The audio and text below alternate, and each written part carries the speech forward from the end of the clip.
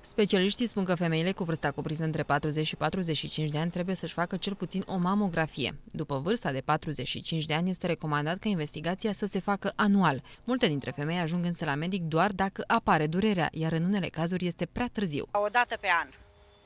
Ce investigații faceți? Mamografia, la spitalul numărul 1. Merg la endocrine și de la endocrine face trimitere și îmi fac o dată pe an, la o vârstă am fost acum 2 ani. Deci am fost. Și nu am nimic, nu am nimic, sunt bine. Ar trebui, dar nu am mers. Care-i motivul? Ce vă oprește? Sunt alte lucruri mai importante ca asta. E mai important altceva decât sănătatea? Păi, spre exemplu, acum e mai important copilul. Dacă mergi în spital, te trimit tot timpul la particular. Nu-mi permit la particular să dau milioane ca să fac o ecografie. Asta e motivul.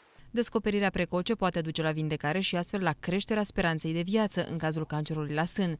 De la începutul lunii februarie, la Spitalul Clinicăi Ferate din Craiova funcționează un mamograf cu tomosinteză 3D, care a costat 250.000 de euro. Mamograful uh, cu tomosinteză 3D are cea mai modernă tehnică de screening și depistare a cancerului în stadii incipiente și ceea ce este foarte important de știut este că doza de iradiere este mult mai mică decât în cazul unui aparat 2D.